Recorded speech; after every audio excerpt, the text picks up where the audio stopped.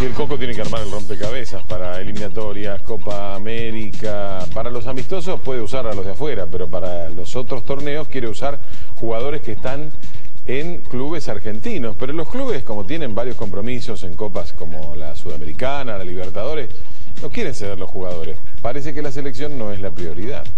Los 12 pasos, se puede ganar o no, y sin gloria, porque quedó en la puerta de las semifinales, allí la historia podría haber sido distinta a la ya escrita.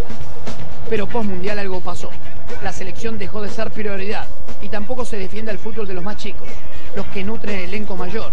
Y si no, vale la pena escuchar a Hugo Tocali, técnico de la Sub-20, que debe disputar el torneo sudamericano en Paraguay en pocos días más.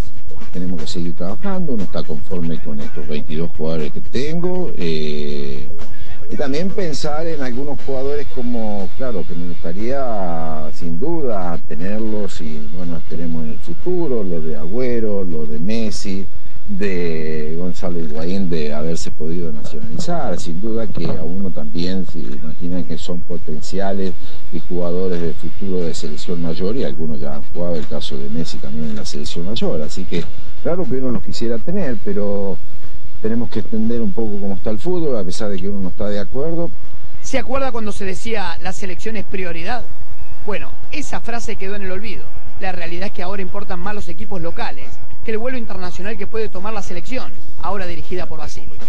Una pena, se tiran por la borda años y años de trabajo. La era post-Peckerman será recordada por el poco interés a representar la camiseta celeste y blanca. Basile ya conoce la respuesta de los dirigentes para el 2007. No se permitirá que equipos que juegan la Libertadores o que priorizan el torneo argentino cedan futbolistas a la selección, que por ejemplo disputará un amistoso en Francia el 7 de febrero, otro en mayo con Inglaterra y probablemente otros dos más antes de fin de año, previo a la Copa América, a jugarse en Venezuela. El que llega no es un año fácil, Basile lo sabe, pero sería bueno que los directivos vuelvan a aquella frase que hablaba de la selección de todos, para recuperar el prestigio internacional que se tuvo y el cariño de los jugadores e hinchas argentinos, que como dicen los pibes, por ahora fue.